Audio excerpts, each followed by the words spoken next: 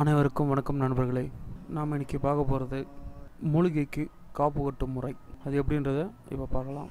நீங்கள் எந்த ஒரு மூலிகையாகட்டும் எடுக்க போகும்போது முதல்ல காப்பு கட்டி அதோட சாப நிவர்த்தி மந்திரத்தை சொல்லி தான் மூலிகையை எடுக்கணும். அதுக்கு மஞ்சள் நூல் இருக்கு இல்லைங்களா? அந்த மஞ்சள் நூலில் கொம்பு மஞ்சள் இருக்கு இல்லைங்களா? அதை அந்த நூலில் கட்டி தாலி மாதிரி கட்டிட்டு அந்த தாலி எடுத்து ஏதாவது ஒரு விநாயகர் மந்திரத்தை மூணு முறை சொல்லிட்டு அந்த மூலிகை செடிக்கு தாலி கட்டுற மாதிரி மூணு முடிச்சு போட்டு கட்டிடுங்க. கட்டிட்டு அதுக்கப்புறம் அந்த மூலிகைக்கு விபூதியால் உயிர் நிறுத்தும் மந்திரம். அதாவது ஓம் மொழி மகாமொழி சர்வமொழி மந்திர மொழி உன் உயிர் உன் உடலில் நிற்க சுவாகா இந்த மந்திரத்தை மூணு முறை சொல்லிட்டு அந்த விபூதியை அந்த மூலிகை செடி மேலே தூவிடுங்க. தூவிட்டு உங்களோட வலது கை எடுத்து அந்த மூலிகை செடி மேலே கை வச்சு மூலிகை சாப நிவர்த்தி மந்திரம். அதாவது ஓம் பரமசிவன் சாபம் நசி மசி ஓம் பார்வதி சாபம் நசி மசி ஓம் தேவ தேவதைகள் சாபம் நசி மசி ஓம் ரிஷிகள் சாபம் நசி மசி ஓம் சித்தர்கள் சாபம் நசி மசி ஓம் சகல சாபமும் நசி மசி அப்படின்னு மூணு முறை சொல்லிட்டு மீண்டும் அந்த மூலிகை மேலே